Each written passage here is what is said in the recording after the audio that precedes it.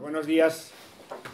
A todos, muchas gracias por, por acompañarnos en este día que para nosotros es muy eh, pues especial porque eh, el motivo que nos reúne aquí es eh, intentar dar cuenta de, de, un informe que a su vez da cuenta de lo que hemos hecho y por tanto en parte de lo que somos, lo que hemos hecho durante nuestros 25 primeros años de, existencia cuando eh, planificamos bueno, de qué manera celebrar o, eh, y también pues, recoger un poco el trabajo de estos 25 años, una de las cosas que, que nos planteamos fue eh, objetivar o intentar poner en, en, cifras y en valoraciones cuantitativas cuál es esa presencia o esa huella en que se ha transformado este, esta pasión que durante tantos años hemos compartido todos de querer hacer eh, un proyecto universitario con impacto en la sociedad e intentar eso, eh, dimensionar o cuantificar ese impacto. Entonces, eh, aunque ahora eh, lo veremos más en detalle, pero creo que es importante hacer una pequeña distinción porque a veces cuando se habla de universidades públicas, privadas, pues el lenguaje nos, nos engaña porque en realidad todas las universidades somos públicas, nada más que unas son de gestión estatal y otras de gestión privada. A mí se podría hacer la distinción de que unas son subvencionadas y otras no. Nosotros no estamos subvencionados. Entonces, dentro de las no subvencionadas, hay algunas que son relaciones o que tienen forma jurídica de no lucrativa, eh, sin ánimo de lucro, y otras que son mercantiles y con ánimo de lucro, pero todas somos eh, públicas porque todas prestamos un servicio público. Y esto creo que es eh, eh, importante decirlo porque justo hoy de lo que vamos a hablar es esto, qué servicio prestamos a, nuestro entorno, a España y al mundo. ¿no? Nosotros tenemos muy presente, el, porque lo hablamos constantemente y todos los que estéis aquí de la universidad, pues suena familiar, hablamos siempre de cuál es el impacto en nuestros alumnos, cuál es el impacto en los padres de nuestros alumnos, al final en todas las personas que se cruzan nuestro camino y nos importa mucho esto, nos importa más que los rankings, nos importa más que que otras cosas que luego son importantes, pero que simplemente deberían reflejar aquello que es nuestro cometido, que es servir eh, para algo eh, trascendente, para algo importante, a cada una de las personas que Dios nos pone en el camino por algún motivo. Sean alumnos, sean proveedores, sean padres, sean eh, personas que hacen alianzas con nosotros y demás. Bueno, eh, esto que lo tenemos muy presente, que lo intentamos medir y, tal, pues se ve complementado por otras muchas cosas que parecen círculos concéntricos, que a veces están lejanas, pero que también están ahí y que se, se producen o se provocan como consecuencia de esta acción y de este cometido primero, que es el impacto en, en, en las personas. Quiero eh, agradecer a, a, las instituciones que han eh, participado y que han hecho el estudio, a las personas que dentro de la casa, particularmente a Marta y a, todo, el Departamento de Desarrollo, pero a todas las personas que han sumado para, lograr este informe, que ha costado mucho y que además es un primer paso y que nos permitirá actualizarlo en los años venideros, a, Florentino que nos acompañe y que va a dar también cuenta de ello y, sin más pues creo que te dejo la palabra a ti, Javier. Muchísimas gracias, rector, por la, presentación. Muy buenos días. Gracias por la, por la presencia. Y en estos eh, próximos minutos vamos a esbozar cuáles son los principales resultados de este ejercicio que hemos hecho que va eh, va mucho más allá de hacer un ejercicio de contribución económica, el cual se llevan haciendo tanto las universidades públicas como privadas desde hace bastantes años, sino hacer eh, lo que denominamos al principio, cuando empezamos a, a trabajar, en, tanto pues, por la parte nuestra en la Fundación Civismo como por el Departamento de Desarrollo Institucional, eh, hablar de la huella social. ¿no? Entonces, eh, vamos a entender qué es lo que eh, creemos que esta huella social tiene de cara a la, a la, universidad y de cara a la sociedad a la cual presta servicio y desde luego pues a partir de ahí podemos ver algunos de los resultados esenciales que tenemos y que pueden consultar ya en el informe publicado. Me van a permitir que me ponga de pie para poder hacer mejor esta, esta presentación. Bien, eh, vamos a eh, estos eh, minutos vamos a dedicarlos a tres cuestiones esenciales. En primer lugar, una breve descripción de cuáles son los, los elementos de valor que hemos encontrado en esta, en esta, en esta casa, es decir, en nuestro caso como observadores independientes y como pues, entidad del tercer sector, nos importaba especialmente ver, en comparación con otras, con, con otras instituciones y con otros, también incluso estudios que se han ido realizando a lo largo de los años, cuáles eran los valores diferenciales. En segundo lugar, veremos eh, en cuánto cuantificamos y por qué la contribución económica, en términos económicos, de, esta, de esta universidad. Y por último, veremos lo que llamamos la huella social, es decir, esa contribución social en los diferentes aspectos donde se estructura no solo las áreas de trabajo de, la universidad, sino muy especialmente qué significado tiene esto para la eh, sociedad.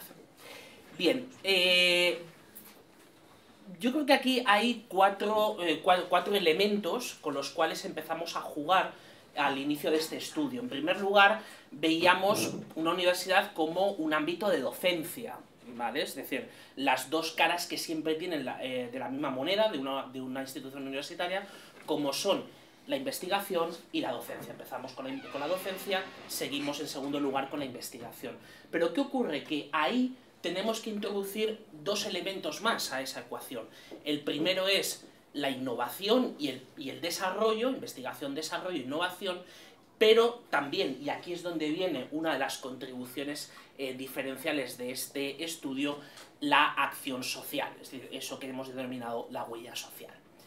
Bien, eh, básicamente ustedes conocen, eh, todos los miembros de la comunidad académica, pues cuáles son los elementos donde más hincapié se hace en esta, en esta casa.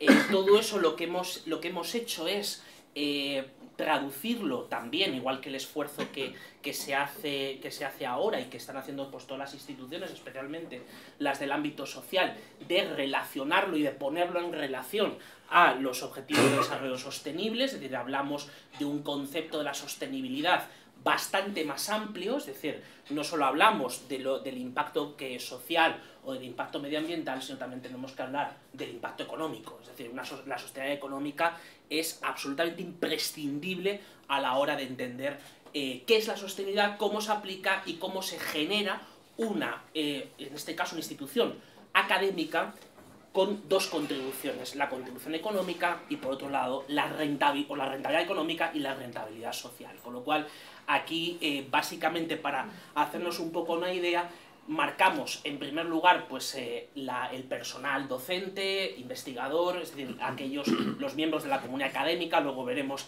en qué se traduce no solo en términos de empleo directo, sino también de empleo indirecto. En segundo lugar, la segunda parte que hablábamos de la investigación y concretamente pues personificado en las, en las cátedras existentes, en cátedras de investigación existentes hasta, hasta la fecha y evidentemente qué relación tiene esto con los objetivos de, desarrollo sostenible. Bien, eh, en segundo lugar tenemos lo que denominamos la contribución económica. los ejercicios de contribución económica, cuando uno se, pone a, a calcular pues, cuáles pueden ser los efectos que tiene una universidad, o sea, cualquier otra institución, eh, en términos de Producto Interior Bruto, en términos de empleo, en términos de inversión, consumo, etc. Es decir, cuantificarlo en variables económicas. Ahí eh, tenemos una metodología muy contrastada, una metodología que además está, eh, pues es bastante sólida a lo largo del tiempo, la cual pues los diferentes investigadores acuden y emplean para poder extraer pues cuáles son los principales eh, rasgos económicos que tiene en este caso una institución universitaria. Entonces nos encontramos con que la Universidad Francisco de Vitoria por cada euro que gasta o invierte genera 1,24 euros en eh, especialmente en la economía de su entorno. Es decir, estamos, lo que hacemos es un análisis el cual empieza en su entorno más inmediato, es decir, en, los municipios y en las, eh, en, las, las, economías locales más cercanas a su, a su sede, a su lugar físico. A partir de ahí extrapolamos a la Comunidad de Madrid y por último, pues evidentemente al, eh, a la economía española, pero quedándonos en el paso, en el paso primero que es la contribución a, los, a las economías locales y al PIB de la Comunidad de Madrid, nos encontramos con que para el municipio de donde está concretamente esta sede de Pozuelo de Alarcón, estamos hablando de, de, más de 42 millones de euros de impacto económico anual, mientras que para el caso de Majada Honda, luego también en el estudio pueden encontrar el detalle de otras localidades o de otros municipios donde esta universidad tiene sedes o tiene actividad, tanto sea eh, investigadora académica como también pues, deportiva y de, otras, de otra índole, en el caso Majadahonda son casi 18 millones de euros. Eh, si hacemos el cómputo del total, o sea, el, el, efecto sobre el PIB de la Comunidad de Madrid es de 128 millones de euros anuales. Estos 128 millones de euros anuales, eh, ustedes pueden preguntarse, ¿es mucho o es poco? ¿Qué es? Es decir, en relación a, eh, a otras instituciones, en relación a otras entidades, ¿cuánto es esto? Bueno, pues nos encontramos con que, eh, haciendo, revisando los ejercicios de contribución económica que han realizado sobre todo las universidades públicas madrileñas, en, en el terreno de las universidades públicas hay bastante eh, bastante hecho, también en, una, una, parte pequeña de las privadas, pero en una parte, nos encontramos con que estos 128 millones de euros puestos en proporción a la comunidad académica, a la inversión realizada y a la actividad académica anual está dentro de las primeras, es decir, aporta, es decir, en términos económicos, y además esos términos económicos ahora veremos también de qué otra manera está aportando como si fuera una de las principales universidades de la Comunidad de Madrid. Y esa otra manera es lo que decimos aquí, es decir, no solo es importante cuantificar lo que consumen los alumnos, lo que se invierte por parte de la entidad, eh, lo que llamamos exportaciones, que realmente es eh, la llegada de alumnos procedentes de otros países, es decir, cuando se está eh, pues, con programas de intercambio, etc., sino también dos cosas muy importantes. Por un lado, cuánto se ahorra al presupuesto público. Entonces, como decía antes el rector, es una casa que no recibe una financiación directa por parte del sector público, y entonces ahí tenemos dos cosas. Por un lado, cuánto se está ahorrando al presupuesto público, que es donde, donde sí emana evidentemente el presupuesto de una universidad de titularidad pública y por otro lado cuántos impuestos se están pagando. Entonces, en este sentido, nos encontramos con que el ahorro, el ahorro del, al sector público, porque si hacemos el cálculo de cuánto está poniendo el presupuesto público en cada matrícula que pagan los alumnos de una universidad pública, estamos hablando de cerca del 80%. Con lo cual, si cuantificamos el número de alumnos que hay aquí, que si no estuviera esta casa tendrían que estar en la universidad pública, ahí estamos, estaría ahorrando el presupuesto público, la, el sector público ahorra eh, cerca de 65 millones de euros anuales. En segundo lugar, eh, otra cosa también que sale de un presupuesto público, tanto en, en universidades públicas como en privadas, son las becas. Entonces, en este caso, las becas que vienen de dentro de la casa, pues están ahorrando en torno a los 6 millones de euros, 5,7 millones concretamente en el último año. Y por último, más de 8 millones de euros en el pago de impuestos. Entonces aquí eh, hemos cuantificado todos los impuestos que se pagan, tanto sea de, la de forma directa como también los que gestiona y paga de forma indirecta la eh, universidad. Por tanto, el, impacto económico sobre las cuentas públicas, el impacto positivo, está eh, ronda los 80 millones de euros. Bien, eh, desglosando algunas de las, de las cosas que hemos visto antes, es decir, cuando hacemos el cómputo de lo que entendemos por contribución económica, una de ellas es el gasto de los alumnos, es decir, eh, la comunidad académica, es la comunidad sobre todo de estudiantes que o residen en el entorno de la universidad o eh, viven en los, eh, en los municipios, digamos un poco en lógica de círculos concéntricos, todo eso es lo que eh, estamos valorando en, concretamente en 43 millones de euros. Es decir, eso forma parte de, la, de, los 128 millones de euros que hemos hablado antes. Es decir, todas estas cifras forman parte de las que hemos visto anteriormente, pero era, era importante que vieran el desglose, es decir, de dónde, sale, de dónde salen estas, estas cantidades. ¿no? Cuestión relevante también son los, eh, cuando hablamos de la materia de investigación, no solo de las cátedras, sino también de los eh, convenios con, eh, con, empresas, la, colaboración, la colaboración también público-privada, lo cual pues estamos hablando de, de, de casi 3.000 convenios vigentes hasta, hasta la fecha. Esto es lo que les comentaba antes, como son por cada euro que gasta o invierte esta casa se generan 1,24 euros de, valor añadido bruto.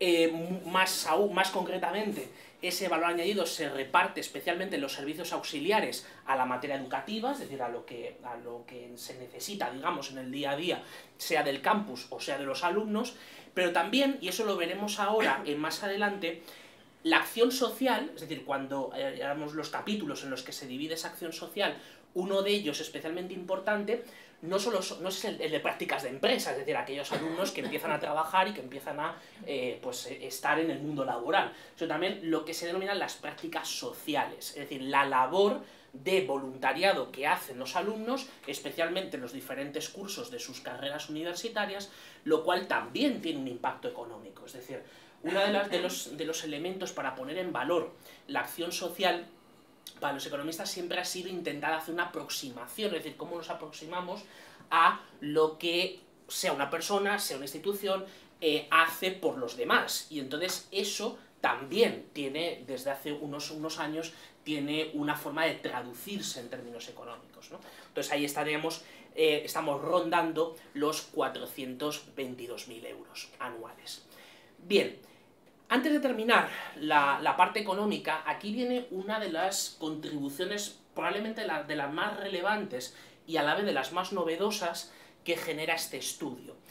Eh, una de las cosas que a nosotros nos preocupa, como, como no solo ya como, institución del tercer sector y por tanto que valora y que eh, intenta promover la acción social, sino también la calidad de los servicios, tanto sean públicos como sean privados.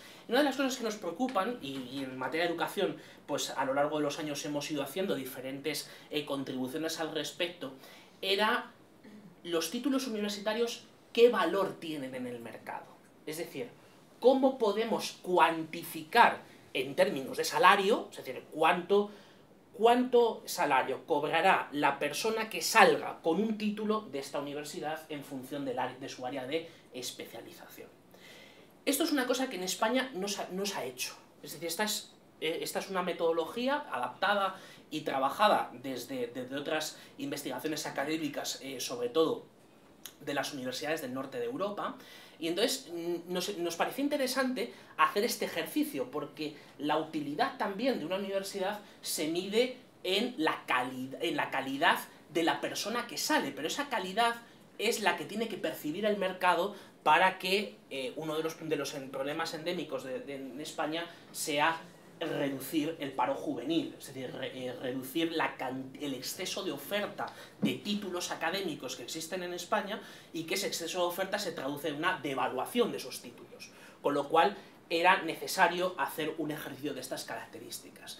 Y aquí que nos encontramos, nos encontramos con que, eh, por ejemplo, en el área de, ciencias jurídicas y empresariales, pues el valor estimado, es decir, esto es un flujo descontado, lo que hacemos es una suma descontada de, los flujos, eh, en este caso, pues de los salarios brutos que generará eh, la persona en los, en cinco años siguientes a ser graduado, nos encontramos con que en el caso, en el, en el escenario más bajo, estamos en los 50.400 en ciencias jurídicas empresariales, en 47.600 en comunicación, 48.300 en ciencias de la salud y así sucesivamente. Mientras que la parte más alta, y decir, y aquí estamos solamente fijándonos en los dos deciles de salarios más bajos. Es decir, si lo que hacemos es troceamos en 10 partes la, a, los empleados, es decir, a, los asalariados, nos quedamos con los dos, de los dos primeros, es decir, los que tienen un menor salario, porque son los que están saliendo al mercado laboral. Uno cuando sale al mercado laboral no está saliendo con el salario más alto, sino que eh, sale con el salario más bajo. Entonces, hemos cogido el primero y el segundo. Y entonces, en el caso del segundo, es decir, el 20 por, una probabilidad, o sea, perdón, con el 20% de, eh, de, esos alumnos que salen y que empiezan a trabajar, una probabilidad del 91%, que es la probabilidad de que una persona que sale de esta casa esté empleado, es decir, utilizando esa, eh, haciendo la, la, media esperada, nos encontramos con que en jurídicas estamos en 69.000 euros, en comunicación 66 casi, 65.900, eh, 66.165 en ciencias de la salud y así sucesivamente. En el caso, pues, por ejemplo, de Politécnica, 69.900, que sería el salario esperado más alto. Además, todo esto concuerda con las, las, cuestiones que vamos a ver después, que son las fortalezas también de la propia universidad en materia de especializaciones. Bien, y por último, pasamos al, al, otro, al otro aspecto, que es el de la contribución social. Hasta ahora hemos visto una descripción de la universidad, hemos visto eh, qué supone en términos de contribución económica, aquí ya entramos en lo que hemos denominado la huella social. ¿Por qué? Porque nos importa cuantificar o, o, ver qué es lo que está pasando en, en, términos de impacto social de la universidad, pero también qué es lo que ocurre con los más inmediatos competidores. Es decir, hay que, mm, como pasaba antes, si me dicen una cifra, evidentemente me tienen que dar un comparable, no es posible eh, pues hacer juicios de valor sobre una cifra que sea, que sea aislada. ¿no? Y entonces, ¿cuáles son los capítulos, de, eh, los capítulos en los cuales nos vamos a fijar y después pasar a la materia de investigación y también de resultados académicos. Pues la primera es mentores acompañamiento, ahora vemos, eh, vemos qué es, las prácticas sociales, el grado de satisfacción con la universidad, notas y rendimiento académico y por último ciclos formativos, la formación profesional. Eh, esto, mm, especialmente los cuatro, los cuatro primeros puntos, persiguen ser una trazabilidad del alumno, es decir, Ahora mismo, es decir, uno, no, teníamos, digamos, todas las estadísticas agrupadas o no teníamos tampoco un hilo temático suficiente para poder hacer una evaluación del alumno desde que entra en primero de carrera y sale de esa, de esa carrera universitaria. Entonces nos importaba especialmente encontrar denominadores comunes, rasgos que en cada curso definan el comportamiento del alumno y sobre todo el aprovechamiento que hace ese alumno, no solo en términos académicos, sino también en, términos de su impacto social, es decir, de qué contribución puede hacer a la sociedad en cada uno de los puntos. Entonces, en cada uno de los cursos. Entonces, el primero es eh, mentores acompañamiento, es decir, la figura del mentor es una de las, eh, de las figuras, luego lo, veremos, que determina, que es absolutamente determinante a la hora de medir el fracaso escolar. Es decir, es, es uno de los tres argumentos o de los tres parámetros que definen el abandono escolar. Y en este caso, el reforzamiento de un mentor, es decir, de la existencia de una figura que pueda ayudar al alumno en cualquier momento esperante del primer curso de carrera, es decir, donde los, profesores y en general las universidades eh, notamos eh, la bajada de los rendimientos en muchos casos si tenemos su estadística de bachillerato o incluso desde que se inicia el curso hasta el final, ¿no? Entonces, esa figura del mentor arroja un resultado eh, que es enormemente ilustrativo porque ahí es donde vemos cómo en las diferentes preguntas y en la estadística que se realiza a los alumnos, vemos cómo eh, la cuestión más valorada, o una de las más valoradas, es precisamente la ayuda que ese mentor hace para enriquecerse no solo en términos académicos, sino también en términos sociales. ¿no? Em, y entonces, además, con el histórico disponible, es decir, pusimos eh, en, una escala, en una escala del, del 1 al 6, pues estamos en unas notas superiores a 5 puntos, y concretamente en ese histórico, es decir, los últimos eh, tres cursos, esa mejora, la, mejora además de la participación de los alumnos es muy notable, especialmente en las preguntas, en los capítulos donde muchas veces la persona tiende a, digamos, a mm, o dejar sin responder la pregunta o al menos no haberse hecho esas preguntas, es decir, no haber pensado sobre estos aspectos. ¿no? Entonces, eso es eh, especialmente relevante.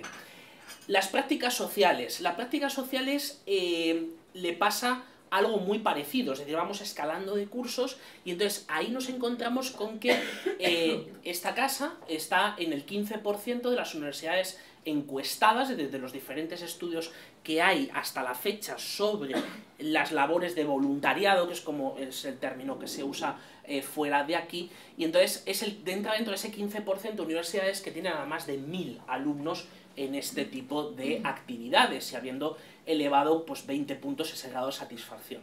Y recogiendo de antes, que habíamos, lo habíamos mencionado, pues ahí tenemos esa, eh, esa cuánto se mm, contribuye en términos económicos esta acción social. Y aquí hay un elemento que es eh, muy relevante, que es, aparte de las ramas de jurídicas, de ciencias sociales, la rama de jurídicas y sociales y la rama de ciencias de la salud, pues es el perfil más predominante, en este tipo de actividades y además es el que se correlaciona de una forma más estrecha con su ámbito de especialización, es decir, que obtiene no solo la satisfacción o se ve el crecimiento de la persona eh, con esta actividad, sino también eso le influye positivamente en sus eh, rendimientos académicos, con lo cual aquí se está cerrando el círculo de, por un lado, lo que es netamente el estudio a lo que es, eh, pues, qué cosas se pueden hacer fuera, es decir, qué puedo yo hacer además de, de estudiar por la sociedad y especialmente pues, los, más, los más cercanos. Eh, otro dato relevante es a, la hora de evaluar la propia universidad y, de, evaluar los departamentos de los que se compone. ¿no? Y entonces, eh, concretamente, es la segunda institución académica privada más valorada de España, por detrás de la Universidad de Navarra, lo cual en ese sentido también en términos comparativos y de una historia, que cuando vamos viendo la historia de la, de la universidad, pues el seguir un poco caminos que, han, que se han traducido en éxito, tanto en éxito económico como en éxito social y evidentemente en éxito académico, siempre es una buena noticia. Eh, y aquí es lo que decíamos hace un momento, es decir, nos importaba, aparte de haber valorado económicamente los títulos, de haber hecho, pues, eh, de, haber visto pues, cuáles son, eh, cuál es el progreso que hacen esos alumnos a lo largo de los diferentes cursos, eh, nos, interesaba preguntarnos qué ocurre con la calidad de la, de la, educación y los resultados, en qué resultados se traduce esto. Entonces aquí tenemos una buena ayuda, que es los ejercicios que, que se hacen por parte de los académicos dedicados a economía de la educación, y de estos hay en España pues expertos eh, relevantes, los cuales eh, desde, desde hace unos años evalúan las universidades en diferentes parámetros, ahora veremos alguno más, pero uno muy importante es el abandono escolar. Y entonces, y especialmente el abandono escolar en los primeros cursos, es decir, en, los primeros cursos de la carrera universitaria. Y entonces, eh, nos encontramos con que esta casa está dentro de las 10 universidades españolas, no solo privadas, sino también públicas, dentro de las 10 con menor tasa de fracaso escolar, de abandono escolar. ¿No? Y entonces, eh, ¿eso qué, qué significa? Significa que si uno tiene una institución donde el fracaso escolar está dentro de los menores de España, es un buen indicativo de la calidad educativa, porque yo no voy a invertir en una universidad o una universidad no le merece la pena invertir en algo que va a suponer frustración, fracaso y, desde luego, una, forma, una mala formación del capital humano. Entonces, tener una menor tasa de abandono escolar significa un incentivo a la inversión, significa una, un incentivo a posicionarse de mejor forma ante el mercado y, desde luego, pues a poder eh, tratar con más eficiencia todos los recursos. Es decir, si no, pues estaríamos tirando, por, eh, tirando a la papelera pues una buena parte del esfuerzo que se hace. Y entonces, ¿cuáles son los, los factores determinantes? El primero es precisamente el acompañamiento, lo que decíamos antes. Es decir, la figura del mentor, el acompañamiento, eso es eh, importantísimo a la hora de medir la tasa de fracaso escolar. Mucho más de una variable que todos podemos tener en la cabeza, que es el coste de las matrículas. Es decir, en grado de impacto, es decir, el impacto que tiene sobre la tasa de, abandono escolar, tiene mucho más la figura de un mentor, la figura del acompañamiento, las diferentes maneras que se puedan instrumentar, que el propio coste de la matrícula, que ya eso supondría en sí una importante barrera a la entrada. Por último, eh, tenemos una, mención especial, la cual, pues como, como comentaba el rector, pues eh, eh, en, los, en, los, tiempos, en los tiempos próximos pues iremos dando más riqueza y una de, las que más nos interesan también a, a, nosotros como institución que ha evaluado cuestiones relativas a la formación profesional, precisamente este capítulo, es decir, el de los ciclos formativos y por tanto el hacer más, o sea, valorizar todavía más la labor que pueda tener una universidad, es decir, no solo el título universitario, sino también ser capaz de poder hacer una formación evidentemente dual y eh, pegada a las necesidades del mercado. Mm, por último, eh, vamos a ver algunas pinceladas eh, de, la comparación con los competidores más inmediatos. Es decir, hicimos una, muestra de eh, seis universidades privadas de la Comunidad de Madrid en el entorno, eh, de esta universidad, que son además, se, corresponden con aquellas, instituciones que están en competencia directa, digámoslo de esa manera, con esta casa. Y entonces, ¿qué nos encontramos? Nos encontramos con que UFV es la cuarta, la, cuarta institución en el ranking de las privadas madrileñas, de las privadas madrileñas, en producción científica y más concretamente eh, siendo la segunda con publicaciones de primer cuartil, es decir, que a todos los que, los que son académicos saben el, el valor absolutamente imprescindible que tiene publicar en revistas de primer cuartil. Es decir, que eso es una de las aspiraciones que todos en la carrera académica tenemos y que, son, y que es la forma de poder progresar en la carrera académica, tanto como profesores como evidentemente los alumnos que estudian doctorado, aquellos que se dedican a la carrera académica, que poco a poco pues, van integrándose dentro de ese, de ese circuito. Entonces, em, concretamente, la mayor parte de las publicaciones del primer cuartil son en la rama de ciencias eh, jurídicas y sociales. Eh, qué, indicadores también son interesantes en esta comparativa? Pues por un lado tenemos eh, una mejor posición, una posición que está muy por encima de la media de las universidades españolas en capítulos como el número de docentes por alumno, eh, el personal docente investigador, es decir, añadiendo eh, la, parte, la parte investigadora, en presupuesto también por alumno, en la menor tasa de abandono, que es la que hemos visto antes, y también de alumnos extranjeros sobre el total. Es decir, lo que en la primera parte de este estudio hablábamos, lo, le poníamos el apelativo de las exportaciones, es decir, qué servicios se están prestando a aquellos que vienen de fuera. Y también esto nos ayuda no solo eh, a la hora de medir pues, cuáles, son, cuáles son los rasgos diferenciales en fortalezas, también en los aspectos que hay que mejorar y cuáles son también las distancias que hay, tanto con la media de universidades, sea total, sea públicas privadas, o sea, privadas, ¿vale? Tanto en el ámbito nacional como en el ámbito Madrid, ¿no?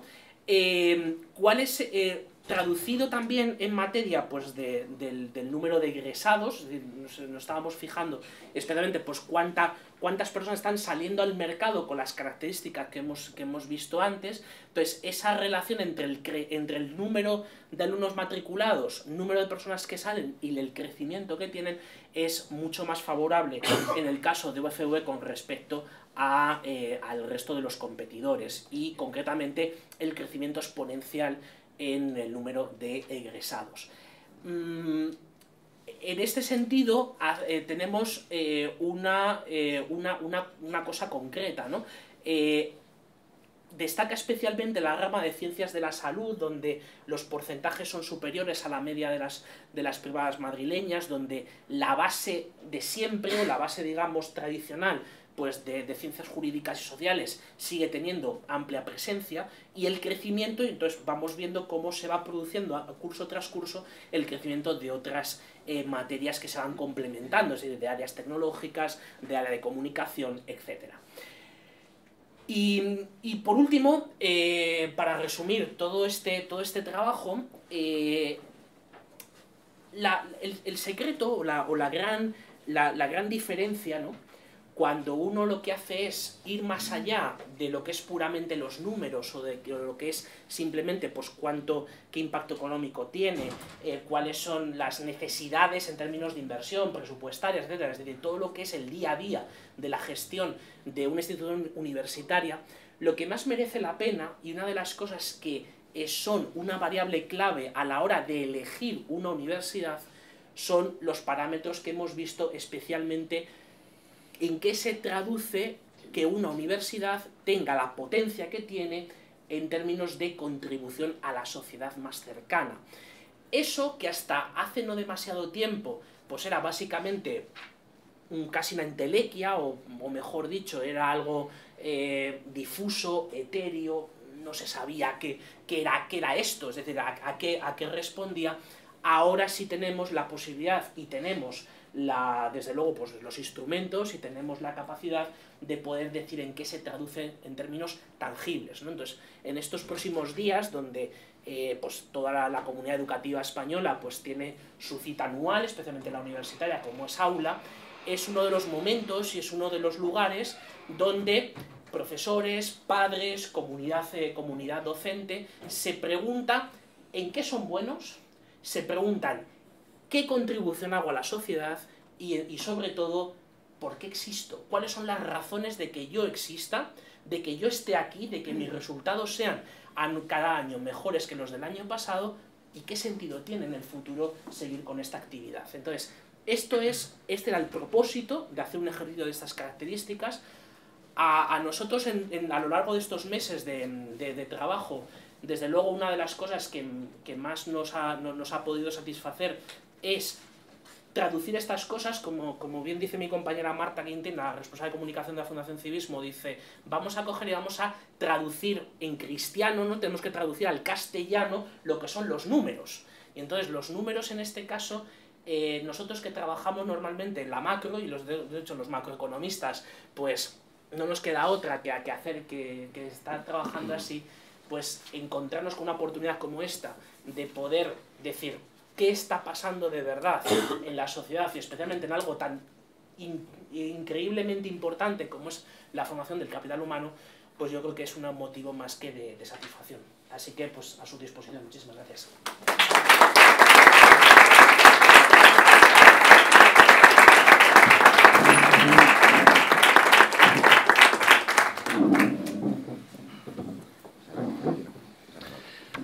Gracias, querido rector. Buenos días a todos. Para mí es un placer estar aquí y compartir impresiones sobre este informe. Entiendo que mi presencia es porque soy profesor, por lo tanto aporto la perspectiva de parte de la maquinaria de esta casa, porque soy de los veteranos, eh, que eso es un activo, ya lo decía Ronald Reagan, y segundo porque tengo una capacidad especial en estas circunstancias para tener perspectiva y es que siendo de los mayores soy de los últimos en llegar. Por lo tanto yo sí conozco las otras universidades españolas y extranjeras y tengo por lo tanto una mayor capacidad quizá para hacer algunos comentarios sobre este modelo. En primer lugar quisiera felicitar a los que a las que tuvieron la idea de, de sacar este informe adelante.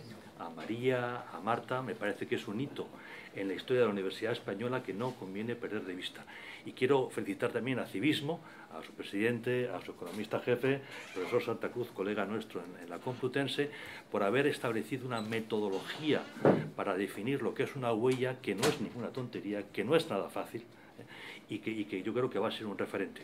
Igualmente, como se acaba de hacer constancia, quiero agradecer a Marta Crispín el haberlo traducido a cristiano, porque os aseguro que Javier Santa Cruz, eh, en términos de, de diccionario castellano, no es tan bueno como cuando hace matemática pura y dura.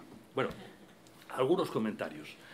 Primero, para entender este informe entender lo que ha sido esta universidad, conviene recordar algunos trazos básicos de cómo era el mundo, cómo era España, cómo era nuestra universidad cuando este proyecto arranca. Quisiera sobre todo eh, subrayar dos, eh, dos hechos de aquellos días que cuestionaban un modelo de universidad que venía de principios del siglo XIX adaptando la España de entonces al modelo francés, que era un modelo particularmente inteligente, un modelo napoleónico. Ocurrieron dos cosas que lo van a afectar. Uno es la masificación. El éxito de las clases medias, años 60, lleva a que a partir de los años 70, sobre todo 80, la universidad se masifique y por lo tanto se pierde inevitablemente la relación, la ratio de profesor alumno.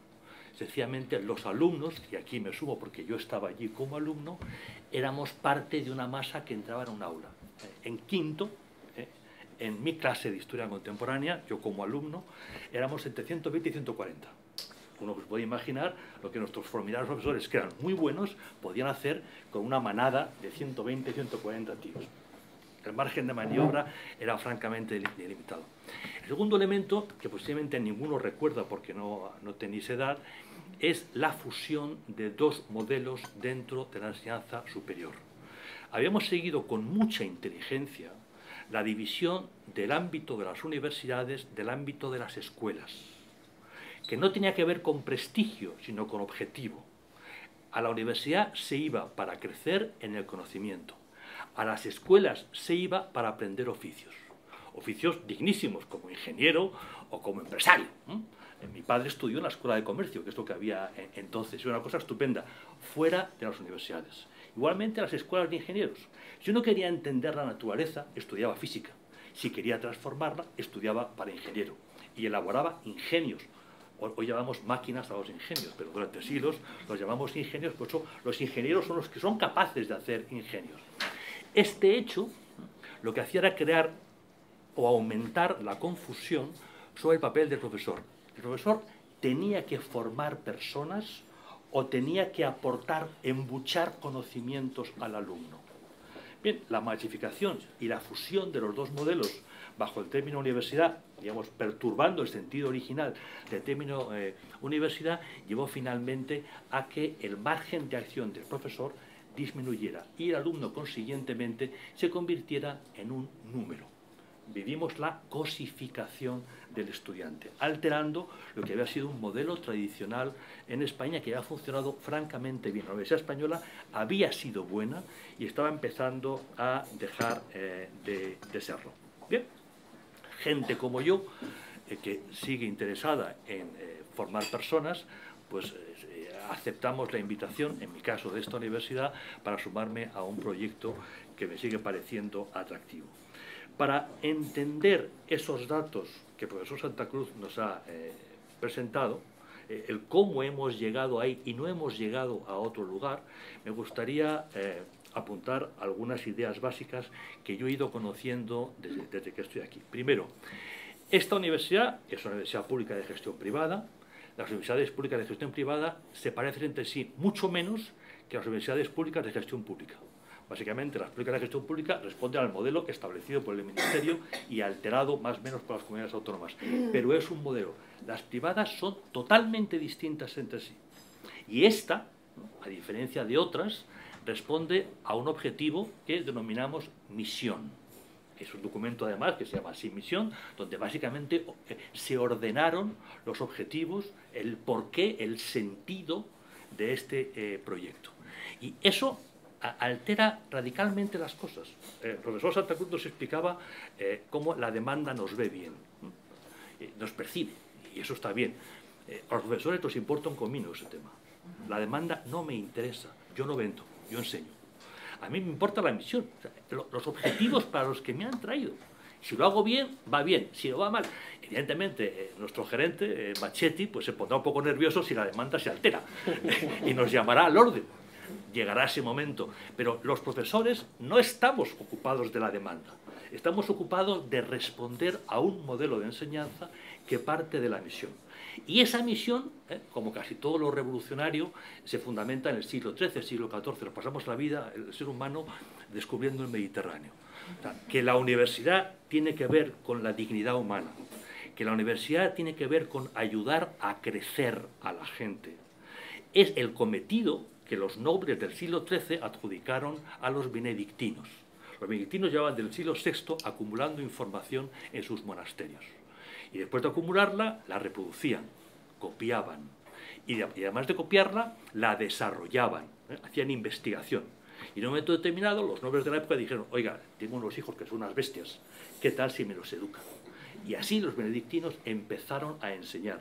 Y ese es el origen de la universidad. Luego llegan los dominicos, luego llegan los jesuitas, luego llegan los carmelitas, llega la Universidad eh, de, de Salamanca, que ya con un formato distinto, pero el origen es desarrollar a los individuos desde un profundo reconocimiento de la dignidad humana. Y eso está aquí. Y eso es lo fundamental que nosotros tenemos y lo que nos hace fuerte y lo que a los profesores nos ayuda en cada día a eh, ordenar eh, nuestro trabajo. Nuestros alumnos no son números. Evidentemente en la base de datos de contabilidad habrá un número de registro, pero para nosotros son personas que tienen problemas y por eso hemos desarrollado toda la estructura de mentoría para acompañarles, evitar así evidentemente el fracaso escolar, pero sobre todo para, para evitar el fracaso vital, para ayudarles a ser personas, que es el cometido fundamental. Segundo, es un viejo tema, también para descubrir el Mediterráneo hoy, la relación entre capacidades y, conocimiento. Yo contarles una anécdota que yo viví y que me ayudó a entender el, por qué soy profesor y por qué me he dedicado a esto. Yo estaba haciendo mi tesis doctoral y pasaba temporadas muy largas en la Universidad de Oxford, porque trabajaba en temas donde esa universidad es muy potente. Y un día, paseando por uno de sus patios, los quads, quadrangles, hablaba con un colega, colega británico, un colega de la Universidad de Oxford.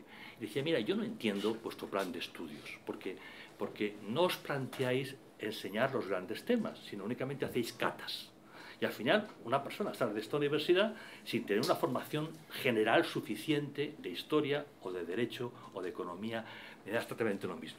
Y él me escuchaba con mucha educación y cuando yo acabé de explicarle toda mi visión, eh, con eh, indisimulado cinismo, me vino a decir lo siguiente, o me dijo lo siguiente. Dice, hombre, nosotros desde el siglo XIII nos hemos convencido probando de que no podemos afrontar proyectos tan ambiciosos como vosotros.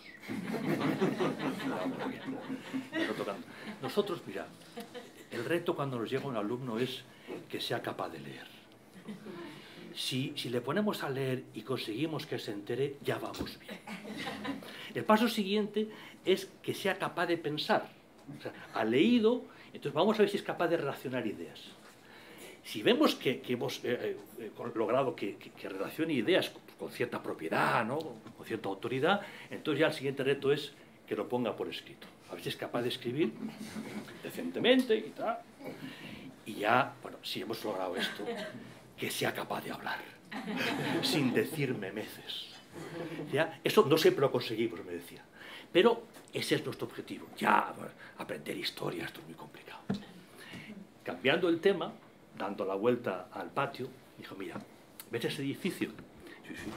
Era la, la Bodleian Library, es la biblioteca central de la Universidad de Oxford. Habéis visto miles de veces de fotografías. Bien. Dice, mira, el conocimiento está allí. Cualquiera puede entrar allí, pero muy pocos son capaces de enterarse de lo que hay dentro, porque no están preparados, no tienen gimnasia mental.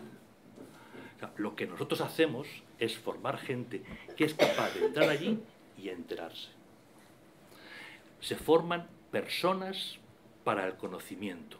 No embutimos conocimientos uno detrás de otro que luego no somos capaces de procesar. Ese es el reto. Hoy, con la pedantería propia de mis colegas de pedagogía o los directores de recursos humanos, que son tan pedantes como los pedagogos, se habla de habilidades, competencia, iniciativas, emprendimiento. En el siglo XIII se decía lo mismo con palabras en buen cristiano, sin pedantería. Sencillamente formamos personas para transformar el mundo, para hacer el mundo, pero personas con criterio. El conocimiento está en las bibliotecas. Lo que no está en las bibliotecas es la capacidad de manejar la información y de transformar la realidad. Eso es lo que tratamos humildemente de hacer aquí. Desde la experiencia de la Universidad eh, Española en los años 70, 80, pues que tristemente nos planteó algunas eh, dificultades. Vamos acabando. Eh, algunos de ustedes se dedican a la economía y por lo tanto tienen la buena costumbre de leer cada mañana Financial Times. Financial Times, el mejor periódico europeo con gran diferencia del siguiente, tiene una línea de trabajo deliciosa, que es eh, analizar las escuelas de negocio del mundo. Ha tenido dos épocas. La primera era crucificarlas. Decir, sois unos sinvergüenzas. Cobráis un dineral por explicar un modelo de empresa que no existe y encima vendéis a la gente que va a encontrar trabajo, con lo cual es mentira. Después de, unos meses destrozándolas todos, ahora ya adoptado una posición más positiva. Dice, bueno, vamos a ayudaros a, cambiar. Y esta, última semana había un nuevo artículo de la serie, son preciosos, y bueno, ha habido una reunión en Davos de directores de escuelas de negocios. Y han llegado a la conclusión de que esto de formar a la gente solo para el beneficio de la empresa no va a ninguna parte. Eh, o la empresa o el alto ejecutivo entiende su papel en la sociedad y colabora en la transformación general, o si no, sencillamente, esto no va a ningún sitio. De nuevo descubrimos el Mediterráneo. esto la Universidad de Salamanca lo explicaba hace un montón de tiempo en los días de nuestro benemérito Francisco eh, de Vitoria. Nosotros, con nuestros alumnos, tratamos en la medida de lo posible de desarrollar la empatía social. Eh, en concreto mi papel es relaciones internacionales. Entonces, lo, lo, primero que les digo a los alumnos es, si al acabar la carrera no eres capaz de entender lo que va a hacer un político chino, no le ves venir, hemos perdido el tiempo absolutamente. O entiendes la lógica que siguen los demás, o si no, fracasamos. En general, lo que hacemos es eh, formar a nuestros alumnos a entender la, la realidad en toda su complejidad, a respetar lo respetable de esa variedad y sobre eso a ser capaz de transformar con los demás en pos de unos valores que están arraigados, fijos en la misión que están en el humanismo cristiano desde el principio y el humanismo judío mucho antes de que naciera eh, Jesús de, Nazaret. Eh, nosotros profesores de esta universidad vivimos las mismas contradicciones que los profesores de cualquier otra universidad occidental y ahora ya diríamos global. Me caben los chinos, los japoneses, los indios. Sabemos que el modelo de universidad en la que estamos está caduco. Sabemos que no podemos conocer el modelo de universidad que va a surgir porque no ha surgido y por lo tanto lo que, lo que nos toca es estar preparados para la adaptación. Y lo estamos. Lo hablamos continuamente y sencillamente asumimos el liderazgo de nuestros vicerrectores y como no de nuestro rector, porque lo que hemos conocido está dejando de funcionar. Y eso es la cosa más normal del mundo. Los cambios de época son eso. Se cambian los modelos de empresa, cambian los modelos universitarios, cambia la demanda, cambia la función. Lo que no cambia es lo único realmente importante. Estamos para ayudar a jóvenes a crecer como personas y como personas a adaptarse a un mercado laboral. Como profesor de universidad, cuando un padre me preguntaba, ya no me preguntan porque no, estoy, no tengo grado, responsabilidad de grado, eh, ¿qué salidas tiene eh, este grado? Eh, tenía que reprimir porque el primer impulso es, señora, a mí me importa un comino qué salidas tiene. O sea, hago cosas mucho más importantes. Lo segundo es decir, mire, esto que usted llama salidas, los puestos de trabajo van a desaparecer. Entonces, si yo cometo la tropelía, la irresponsabilidad de formar gente para esos puestos, para ese modelo, le estoy engañando, estoy robando dinero, porque esos puestos van a desaparecer. Tengo que preparar gente que se adapte a una empresa, a una industria, a una sociedad, a una política que va a cambiar. Por lo tanto, tengo que ser más ambicioso si soy mínimamente responsable. Y en eso, humildemente estamos, lo haremos mejores o peores. Pero esto es lo que hay detrás de esos datos que el profesor Santa Cruz nos ha explicado antes. Muchas gracias. Bueno, Ana Alameda, que es una alumna nuestra de tercero de psicología, quería hacer un comentario desde su propia experiencia sobre la huella social que en ella ha dejado y sus compañeros el pasar por este campus. Eh, bueno, me voy a levantar sí, para que me oigáis mejor. Eh, bueno, eh, yo me llamo Ana, tengo 21 años y estoy en tercero de psicología. Y este pasado verano estuve de misiones en, en Argentina, en, en, las Villas Miseria. Eh, para que me conozcáis un poquito, eh, yo desde los 6 años más o menos supe que mi vocación era eh, la del servicio a las personas. Y, y desde muy pequeña siempre había querido irme de misiones. Lo que pasa es que a mí me llamaban más destinos pues como África, India, pues todos destinos como muy, muy postureables, muy, muy así, pues porque bueno, somos hijos de nuestro tiempo y, y al final pues hay algo que, que, llama.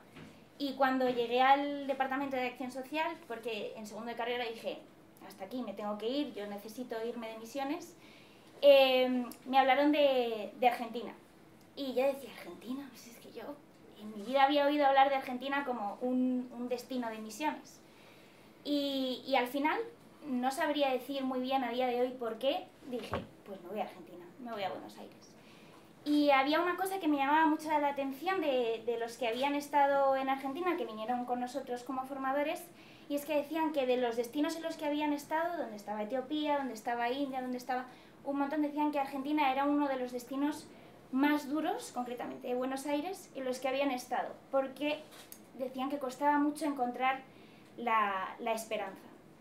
Y es algo que, bueno, comprobamos todos los que vinieron conmigo. Cuando llegamos allí, yo estaba en concreto en un, en un comedor que daba de comer a cientos y miles de personas eh, al día, con eh, mujeres, madres de familia, que se levantaban todos los días a las 5 de la mañana con un frío horrible en las cocinas, que eran paredes que se sujetaban pues porque Dios quería que se sujetasen, eh, a dar de comer a gente que no era su familia, eh, a niños que no eran sus hijos.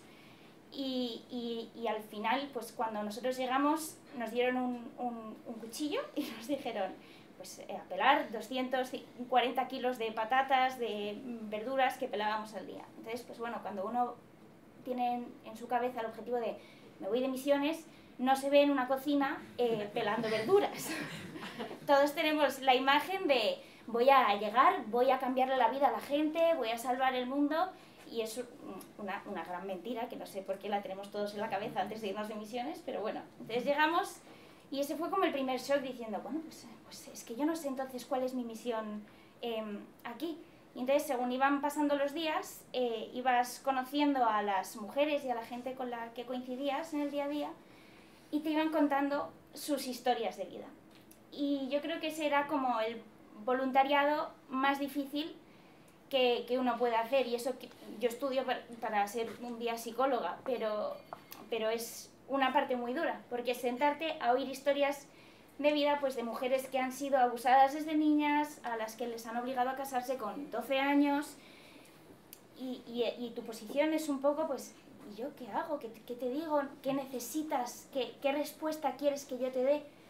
Y al final, eh, es el abrazo más grande que le puedes dar a una persona es eh, darle eh, la importancia, darle, o sea, valorizar a esa persona como para decir, he venido aquí desde el otro lado del mundo y me siento a escucharte porque tú importas, porque tú tienes un valor, aunque tu papel sea secundario, que es pues ser una cocinera o estar no es tan de cara al público como podía estar un médico o como podía estar pero estoy aquí porque tú importas y porque mereces eh, ese abrazo, mereces eh, ese cariño y es eh, revalorizar a las personas. Y, y, esa huella que dejó en mí fue que, em, como siempre nos han dicho, pues que el sufrimiento tiene dos caras. Una muy fea, que es la primera que descubres, la primera vez que te caes, que es el dolor, es el sufrimiento y es el, el pozo, que dices, ¿cómo salgo de aquí? Y luego tiene una que es preciosa, que es el regalo más grande que se puede llevar una persona, que es caerse, porque aprendemos a levantarnos.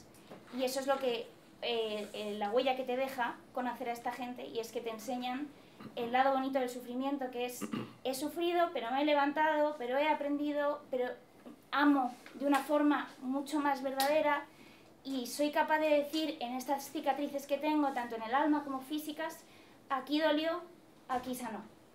Y es un valor eh, enorme, es que no se puede, no podría cuantificarlo, que te, que te da irte de misiones, que es eh, aprender lo que es el sufrimiento, aprender lo que es levantarse y aprender lo que es eh, el valor de, de, un ser humano que no se lo da su oficio, que no se lo da mm, lo que ella ha hecho en su vida ni sus méritos, sino que se lo da simplemente por ser persona, por, por, por, por existir.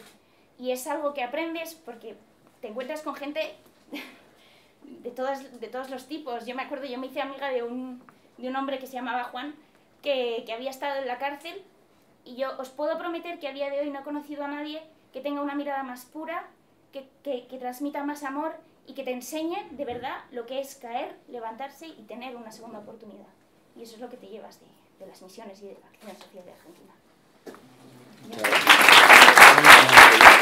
Pues nada, eh, clausuramos. Yo, yo quería para cerrar, eh, recoger alguna idea que me venía eh, de todo lo dicho. Primero que ojalá esté en el panorama o, o, logremos entre todos que en algún momento exista un ranking de huella social. Me imagino que sin más... Eh, sí, porque hay rankings de todo y cada uno es importante, pero sería muy bueno que la gente, los alumnos, los, en fin, los stakeholders en general de cada, las instituciones, en particular de las universitarias, sepan a qué atenerse respecto a la huella social que cada universidad y cada modelo de universidad deja. Y me parece muy bonito y muy importante que esto algún día exista, en lo que nosotros podamos eh, contribuir como conejillos de indias, que ya lo somos, y, y, y, a, otras universidades, creo que es interesante.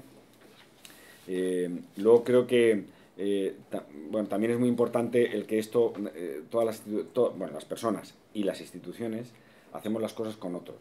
En nuestro caso lo hacemos con ayuntamientos, en los que estamos insertos y, que, y, que, y esta colaboración que no siempre es pacífica entre las instituciones privadas y las públicas y que pasa pues, a amores y desamores, encuentros y desencuentros como es normal, creo que en, en, nuestro caso ha sido siempre muy grata porque nos hemos sentido muy apoyados en general y por otro lado porque, bueno, en esta zona noroeste de Madrid, que no es la succión de la gran urbe tal, pero eh, pensamos que hay una labor que hacer y la universidad se siente obligada por un lado y contribuyente por otro para hacerlo en este entorno.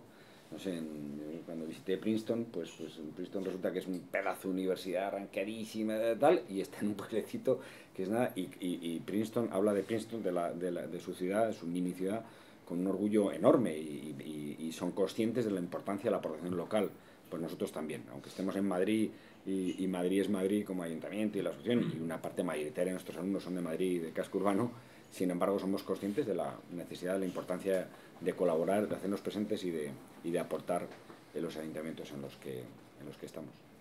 Y, em, y, por último decir que, que, hacer balance de una cosa siempre tiene una tentación, que es de repente... Em, pues eh, caer en la autocomplacencia o en cuanto hemos conseguido o qué estupendos somos. ¿no? Entonces no sé si somos estupendos, estamos en cualquier caso muy agradecidos por lo que eh, Dios a lo largo de la historia nos ha regalado en estos 25 años, pero realmente lo que tiene que pesar es qué vamos a hacer en los próximos 25. esto es una medición de, la aportación, mucha o, poca, ahí está, y nos ayuda a tomar conciencia de que si esto hemos hecho hasta ahora, todo lo que nos queda por hacer a partir de ahora. ¿no? Y esto es para una buena parte de la comunidad universitaria que está aquí representada, pues es el, compromiso que tenemos que hacer nosotros y en la medida en que otros vienen de fuera hacerlo público, porque esto es lo que debe hacer la universidad. Así es que muchas gracias a todos por venir.